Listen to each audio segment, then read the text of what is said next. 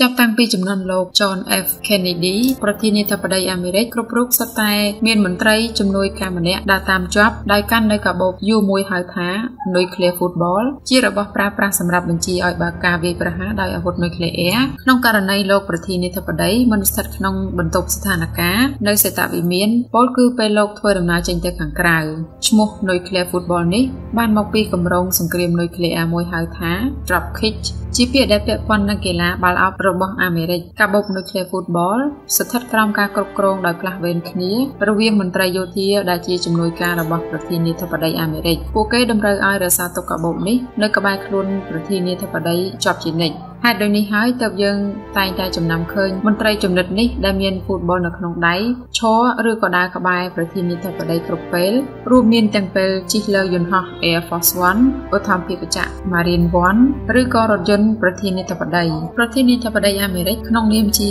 អគ្គមេបញ្ជាការផុតលេខនៃកងកម្លាំងប្រដាប់អាវុធមានសិទ្ធិចេញបញ្ជាឲ្យបើកការវាយប្រហារនុយក្លេអ៊ែរដោយឯកឯងមិនចាំបាច់សុំការអនុញ្ញាតពីសភាឡើយនៅពេលបើកឡើងកាបូប football អាចប្រើដើម្បីផ្ទៀងផ្ទាត់អត្តសញ្ញាណប្រធានាធិបតីធ្វើការតាក់ទងជាមួយក្រសួងការពារជាតិអាមេរិកនិងផ្ដល់នូវជំរើសសម្រាប់ការវាយប្រហារដោយផ្ទុយពីការសន្និដ្ឋានរបស់មនុស្សមួយភាគច្រើនកាបូប football មិនមានប៊ូតុងនុយក្លេអ៊ែរនោះទេហើយប្រធានាធិបតីមិនអាចប្រើវាផ្ទាល់ដើម្បីបាញ់អាវុធនុយក្លេអ៊ែរតែម្ដងនោះឡើយកាបូប football អនុញ្ញាតឲ្យប្រធានាធិបតីអាមេរិកចេញបញ្ជាឲ្យប្រើអាវុធនុយក្លេអ៊ែរមែនប៉ុន្តែការវាយប្រហារនឹងត្រូវធ្វើឡើងដោយខាងយោធាអាមេរិកឯណោះទេយ៉ាងណាមិញនៅមានរបស់សំខាន់មួយទៀតគឺលេខកូដ gold code ដែលសរសេរនៅលើកាតផ្លាស្ទិកមួយហៅថា Dobby Scott ព្រោះបើគ្មានលេខសម្ងាត់នោះទេប្រធានាធិបតីអាមេរិកក៏មិនអាចចេញបញ្ជាឲ្យប្រើអាវុធនុយក្លេអ៊ែរបាននោះដែរដូច្នេះហើយប្រធានាធិបតីត្រូវតែរក្សាទុកលេខសម្ងាត់នេះនៅជាប់ខ្លួនជានិច្ចដូចគ្នា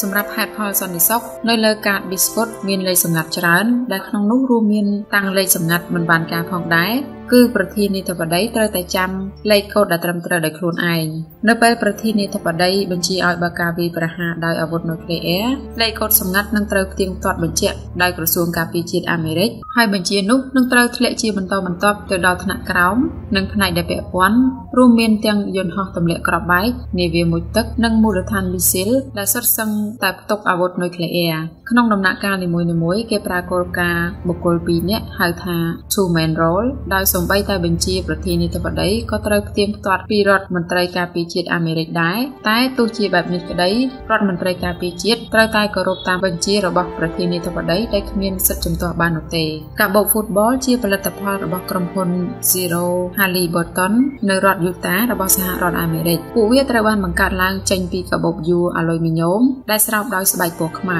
នៅពេលផ្ទុកឧបករណ៍និងឯកសារចាំបាច់រួចរាល់កាបូប football មានទម្ងន់ប្រហែល20គីឡូក្រាមនៅពេលប្រធានាធិបតីអាមេរិកមានកិច្ចការត្រូវចេញទៅក្រៅសេតវិមានជំនួយការជាមន្ត្រីយោធាម្នាក់តែងតែកាន់កាបូបនេះតាមជាប់គៀកនឹងលោកសំបីតែក្នុងចន្ទាយន្តមន្ត្រីយោធាជាជំនួយការសរុប5រូបដែលមានតួនាទីផ្ដល់ដំណឹងដល់ប្រធានាធិបតីអាមេរិកក្នុងករណីសហរដ្ឋអាមេរិករងការវាយប្រហារនុយក្លេអ៊ែរគឺជាអ្នកផ្លាស់ប្ដូរវេនទទួលបន្ទុកមើលការខុសត្រូវលើកាបូប football នេះគួរជម្រាបថាជាទូទៅក៏មានកាបូប football និងលេខសម្ងាត់ gold code ដាច់ដោយឡែកផ្សេងទៀតសម្រាប់អនុប្រធានាធិបតីអាមេរិកផងដែរហើយនៅសេតវិមានវិញក៏មានកាបូបបំរុងមួយជាប់នៅទីនោះជានិច្ចមកទល់ពេលបច្ចុប្បន្នមិនធ្លាប់មានប្រធានាធិបតីអាមេរិកណាម្នាក់បានប្រើកាបូបនុយក្លេអ៊ែរនោះឡើយដោយឡែករុស្ស៊ីក៏មានកាបូបស្រដៀងគ្នានេះដែរដែលមានឈ្មោះថា Cheget ដែលជាឈ្មោះភ្នំមួយនៅក្នុងប្រទេសរុស្ស៊ី